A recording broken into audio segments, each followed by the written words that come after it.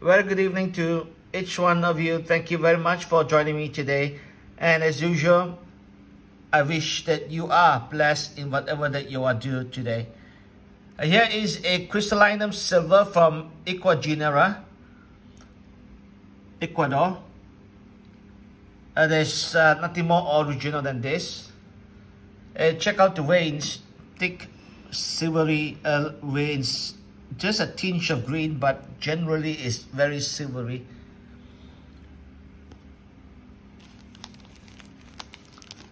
Check out the roots.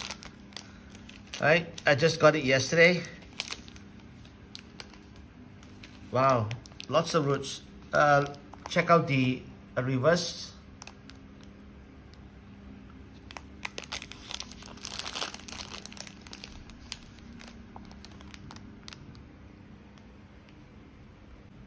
Uh, the wrapper is off and you can see clearly. This crystallinum silver. Check out the veins. The venation is a really really bold thick silvery uh, veins uh, with a tinge of green not a lot of it. That's why it is very silver. Let's check the root ball the condition of this uh, crystallinum. Wow. Wow. Lots of roots. Okay, check out the trunk, the stem here. Right. Looks very good. The new leaf should be emerging. Not too long. This is the reverse of the of the leaves.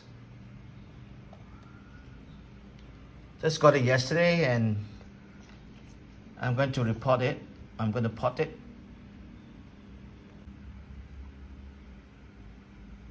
Very good roots. Gonna be happier.